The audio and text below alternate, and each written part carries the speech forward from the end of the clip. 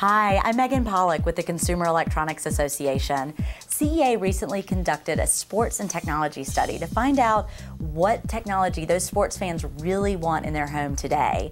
We were fascinated to find that more and more consumers are going online, not just for all the stats and fantasy scores, but also for live streaming content. You know, certainly with the Olympics coming, this is going to be more and more popular as nearly 20% of consumers plan to go online to visit the Olympic websites and watch streaming content. Now, of course, HD is still king. I've got two incredible high definition sets behind me by LG and Panasonic.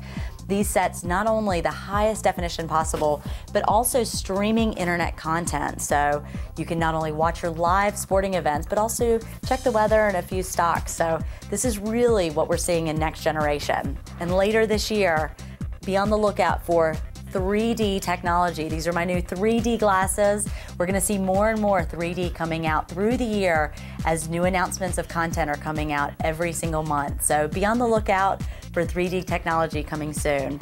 One of the exciting new things we're seeing that consumers want is sports content on their mobile device. Nearly 20% of sports fans said they were interested in viewing sports content on the go.